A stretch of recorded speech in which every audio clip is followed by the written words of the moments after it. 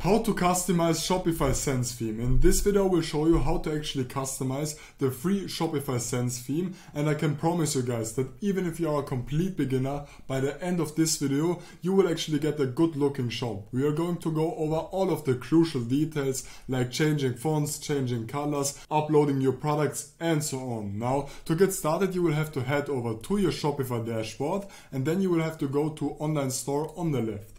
Right here on the theme library, you will then have to click on add theme and then you will have to click on visit theme store. Right here you will then have to click on explore themes and then you will have to select free and you will have to select the sense theme right here and then you will just have to click on try theme and like this the sense theme will actually get added onto your Shopify dashboard and onto your Shopify store. Now as you can see now it successfully got added and once it got added we will actually have to click publish right here so that it actually gets added onto our live store.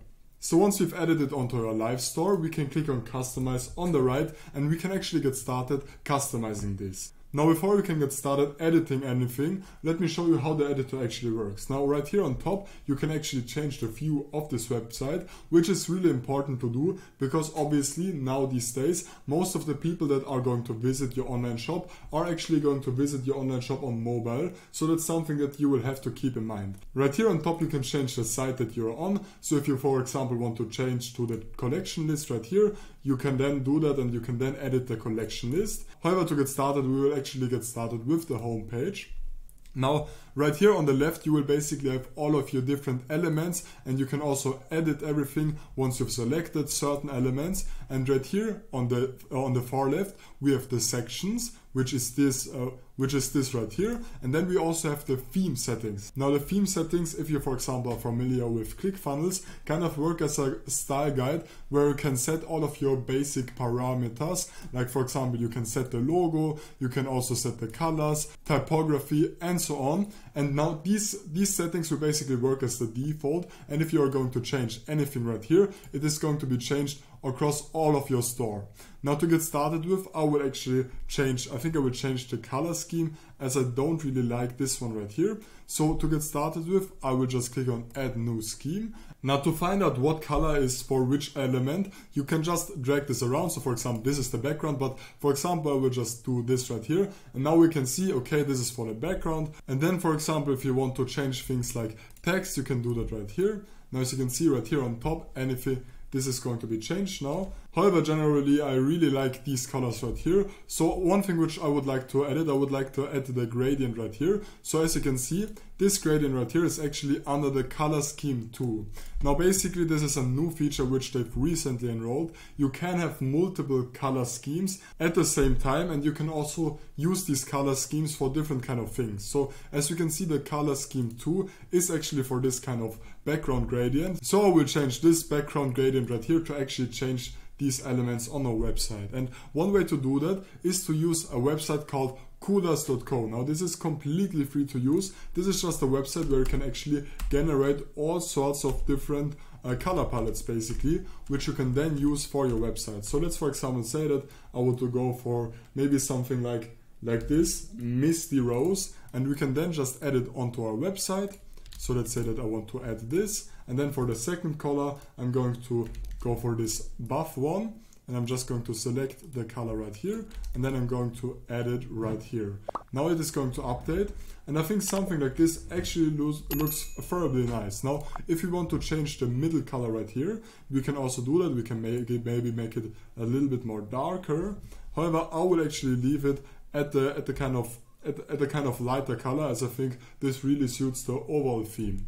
Now once you are done editing your colors, and by the way these are just example changes that I am doing, you will have to edit this on your own so that it actually looks good for your store and for your product. But once you are ready with the colors, we can actually head back and then we can also add other, we can also edit other stuff like for example typography. If we want to change the font, we will just have to click right here and under fonts, we can then we can then set all sorts of different fonts that we want to use. However, I think this font actually suits the overall theme pretty good, so I will just leave it as it is. And now right here you can set up all sorts of different things. Like for example, one thing which is really important to do is to add social media accounts to your store. So if you have any accounts, for me this just would be youtube.com slash at Elias Krause. And then you will just have to add your social accounts onto right here and now these social accounts are going to be added right here on the footer which is something which I would recommend you to do because like this your potential customers can reach you way easier and it also kind of builds up social proof if you have followers on Instagram for example and so on. Alright, now let's get to the fun part and let's actually start customizing our homepage. Now we're going to get started with the homepage and after that I will show you how to customize the product page. Now as you can see right here, this is going to be our crow header. So basically the most important header and everyone that is going to visit our website is going to see this first. Now the first thing that we want to do is we, we, we obviously would want to change this image right here. So to do that we will just have to click on this element right here and then on the left we can see, select select image and then we can just use any of our images that we have uploaded onto your store. And additionally, if we want to, we can also add new images from right here. So I personally will just go for an image that I have on my store. So I would think I will go with this one. And by the way, for this example store, I will actually just sell a juicer, a blender right here. So, and then we can also change the text right here. So we can say something like, um, let's say something like the best portable blender on the market. Now if we want to, we can also change the heading size to small or also to, to large if we want to. However, we'll just leave it at medium.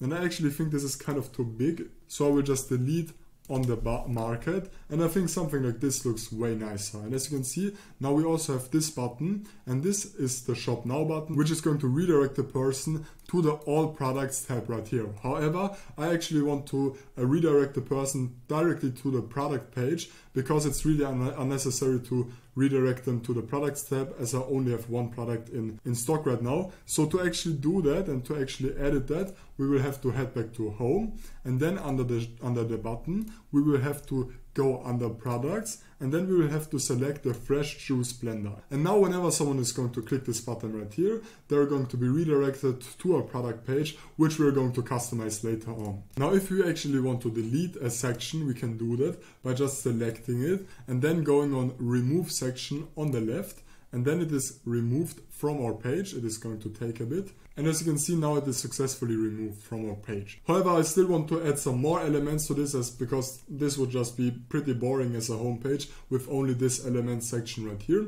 So to do that, we can just click on add section right here on the left and then we can add all sorts of different sections. So let's for example say that we want to add a collage to our, to our page. So as you can see, now we've successfully added a collage and now we could, for example, display our product. And one other thing which I personally really like to add onto my homepage is this multi-column section right here. So basically you can you can use this multi-column section in many ways, but one thing that I like to do is to just like add reviews onto these columns. And by the way, one thing which you always have to keep in mind is how the store is going to look on mobile. So as you can see, if you're now going to switch on mobile, these multi-columns are actually going to be under the, so basically in a line. However, uh, on desktop, they're going to be side by side. So that's something you have to keep in mind. So, so we could now, for example, add some reviews to this. So, so we could say, okay, John said one of the best portable blenders I've ever bought. Now, obviously, these should be real reviews and not just made up. Now you can basically add everything you like. For example, you can also add the video section. And by the way, if you if you want to delete this text right here, you will just have to delete it on the left and now it's completely deleted from your section and this will also automatically align uh, itself on the block. So as you can see beforehand, it kind of was under the text, but once we've deleted the text, it will go up right here. Now we can basically add all sorts of different sections if we want to, but let me now show you how to customize the header of your store. So to do that, you will just have to click on header right here, and then you can first of all set the desktop logo position. So for me, I personally always leave it at top left, as I think that just looks the best. And then we can get started changing the main menu right here. So the main menu are basically these buttons right here. And to change them, you will have to click on this little thingy right here and then you can edit everything the way you want to. So let's for example say that I don't want to uh, I don't want to have this product catalog right here. Rather I want this to say fresh juice blender. I want and I want to directly redirect it to our product page. So to do that we can change the name right here to fresh juice blender. And then as for the link, I will just once again select products and then I'm going to select the fresh juice blender right here and then we can click on apply changes. Now if we want to add a new menu item, for example FAQ, then we can also do that and we could now link this FAQ to pages and then if we wanted to we could set up a new page where we're going to display our frequently asked questions. So as you can see now it says fresh juice blender and when we click on it it is actually going to redirect us directly to the product page. Now one thing which is also super important to do is adding your own custom logo and to do that you will have to click on theme settings on the left and under logos you can then upload your logo. Now if you don't have a logo yourself let me quickly show you how to create a logo for your Shopify store. So just head over to Canva Canva is a free to use designer and just look for something like Blender logo for example as I'm setting a Blender. Now these logos right here aren't actually customized for blenders, however sometimes they actually have that option. Now to get started with you will just have to select a logo that you like. So for example I will go with this kind of aesthetic beauty logo and then I will just change the text to fresh juice fresh juice and then for this uh, and I will delete the big one and for the for the smaller text right here I will just say something like portable blender. And then I'm actually going to delete the background so that this is transparent. And then I will just download it. And now basically you can just repeat this process with all sorts of different logos. Now, one thing which I which I didn't mention is that this logo right here isn't actually transparent, which we want to have. So to actually get a transparent logo, we will have to head over to remove.bg and then we will just have to drag our logo onto this. And now it is basically going to remove all of the white so that we can use this for our page. So once you've removed all of the white, you can then just upload your logo onto Shopify and you can then select it right here once it's successfully uploaded. And then I will just click on done. And as you can see now our logo successfully got added so we can also change the logo width if we want to to make it bigger. Now I actually don't like how this looks so and I will change it so that the logo is in the middle.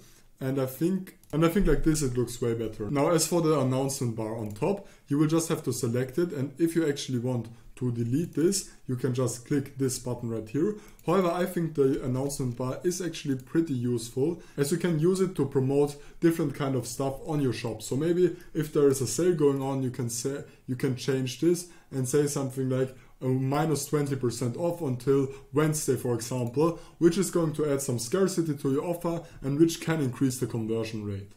Now I think by now we are pretty much done with the homepage. One other thing which I would like to mention, as for the theme settings, there are really tons of different settings which you will have to go over by yourself because most of them you won't actually need to use. However, some of them are, are still pretty useful. For example, one other thing which I would like to mention is the checkout right here. So for example, if you want to do custom branding for the checkout, then you have that option right here. And also if you want to add some animations, if you want to add a hover effect, for example, then you will also have that option and you can also add that if you want to. Now let me now show you how to customize the product page on the Sense theme. So as you can see, this is how our product page is going to look like. On the left, you have all sorts of different images and on the right, the information that you will need to actually buy the product. So if you want to customize anything in particular, you will just have to select it and then you can customize it if you want to.